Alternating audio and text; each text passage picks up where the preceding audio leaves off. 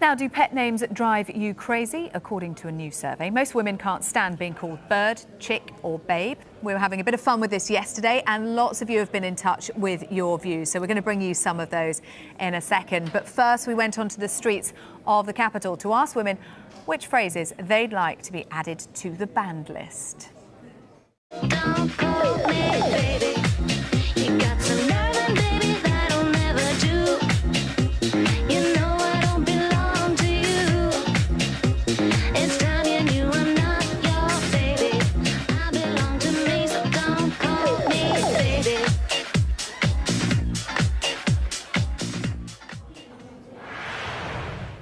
Are pet names offensive or are we taking them too seriously? Joining me to discuss this are the author Peter Lloyd and comedian Kate Smurthwaite. Kate Smurthwaite, what really winds you up about pet names?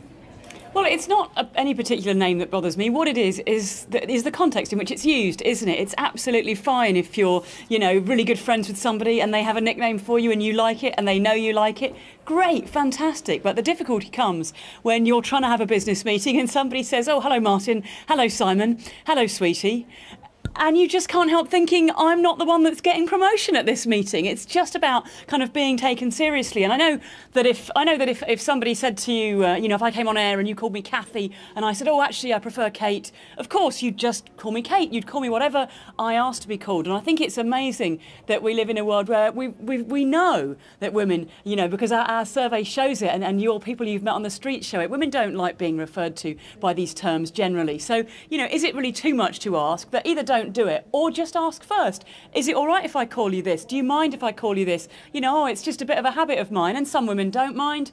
Give those that do a chance to say what they'd rather be referred to well, as. Well, we've been Um, doing just that. Let, us have a listen to what Danielle has had to say. She's sent in this video explaining why she dislikes one pet name in particular. As a trans woman, I'm used to being called all kinds of things. hen, love, dude, but nothing, not even sir, gets under my skin quite like my dear. Deliberate misgendering can be frustrating, but it's rarely from malice, at least not from people who matter. It's usually just a misunderstanding or some confusion. My dear, however, well, that's condescending and demeaning. It's dripping with passive aggression and stinks of self superiority. Frankly, my dear, don't ever refer to me as your dear. Carla, meanwhile, hates some phrases but loves others.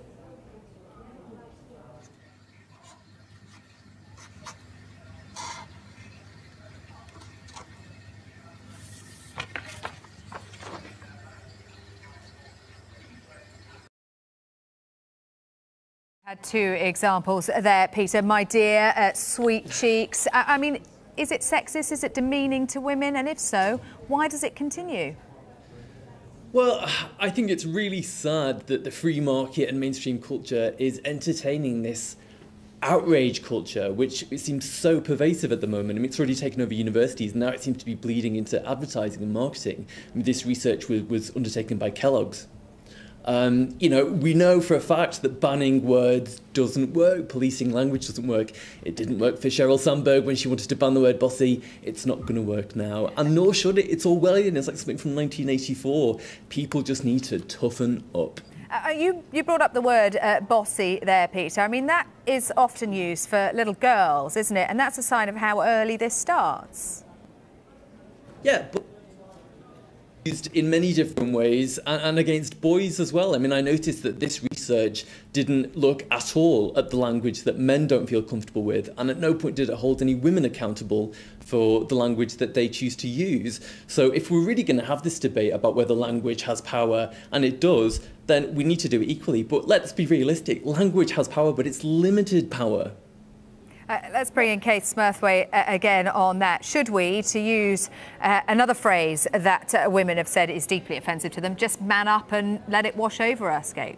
Well, I think Peter's kind of completely missing the point. Um, nobody is saying that words need to be banned, and nobody. And interesting, he says, "Why are people so outraged?" And yet, not one of the people you interviewed was screaming or was outraged. They were just saying, "This is how I'd rather be addressed. I don't really like this." And I think, you know, I think it's not a particularly shocking uh, thing to say. This is the term I'd prefer. And I, I think, you know, once people have made it clear what language they prefer, and it's pretty clear from this survey that women would prefer not, especially in the workplace, not to be called called babe and sweetie and love and those kind of terms, I think I think it's just not a big ask to say, hey, well, you know, if you've said I don't want to be addressed that way, let's just not do it. In the same way that if you know if somebody corrects you that they prefer to be called, you know, Mister or they prefer to be called Ms or Mrs or Miss, just just do what they've asked because that's just polite and civilized. And I don't think anyone is calling for words to be banned. But if I say, oh, actually, my name's not Kathy, it's Kate, and you continue to call me Kathy for days and weeks and months, I mean, I just I just think, well, you're a bit unpleasant, don't I? I think that's really rude. And why would you keep doing that? And, and in actual fact, why are you doing that when you know it's going to annoy me? Um, so I, I, think it's not a big ask. What, what amazes me is that there's a pushback. Is people going, well, it's my free speech, and I can say, well, it is your free speech. Say what you like, but by the same token, I think women should be absolutely free to say, I don't like that term, and, if, and in fact, I might not answer to it. Well, I mean, I, you know, I, agree, Kate. I, I, agree with much of what you're saying, and I think everybody, women should absolutely be allowed to, to kind of, you know, m- modify the language that's used to describe them if they're not comfortable with that. But that applies to everybody, and because it's such a minor issue, it can just be done with a bit of humour on a case by case basis. It doesn't need to to be a big well, issue. But I, but I wonder, it, Peter, but I wonder, Peter really Lloyd, some, point, some of the phrases that we're talking about could be described as being affectionate or humorous, for example. But there are others when you talk about women being ball breakers and when you talk about ambitious women with negative connotations that aren't necessarily applied to men, that we're talking in a little bit more serious territory here. Well, what I think is very interesting is that frequently it's women who use these terms to, to describe other women. So are we saying that we should be only policing the, uh, the language that women use, or is it only a problem when men use it? And if that's the case, then why? Why is it only a problem when men use it? And what about I don't, but words that offend that. you, no, sorry, Peter, nobody's saying that. Nobody is saying that. You know, nobody is saying these words are only a problem when men say them. We're talking generally about the terms that we use. And I find it very strange to have this like, well, what about women? What about if women say it? You know, women can say sexist things, you know, and, and black people can say racist things and gay people can say homophobic things. None of these things are specifically about, you know, one group attacking on another. They're all about a culture and what kind of language we use in our culture. And we should all be looking at how can we use language better? Because as you said yourself, Peter, language does have power. So so let's use that power to create a more positive and constructive culture. Peter, and it's not one... about it's not about some sort of moratorium on individual words, tearing them out of the dictionary. It's about being part of a conversation about the best respectful language, especially in the workplace, where people really have a right to be treated respectfully. We are well, unfortunately well... running out of time. But Peter, I just want to get one final thought from you. Are there words that are used to describe men that offend you? Uh, not particularly, and, and if, if there are some I don't like, I certainly wouldn't want them banned. But it go, you know, it always goes back to that old adage: sticks and stones may break my bones, but there will always be something to offend a feminist.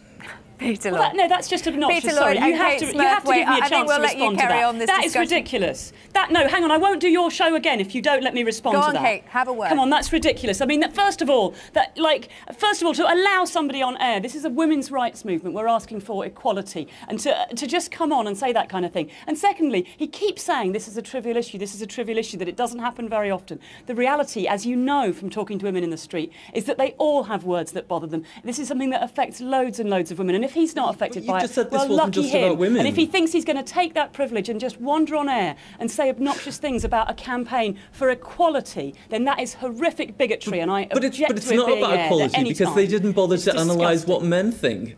It's not about equality.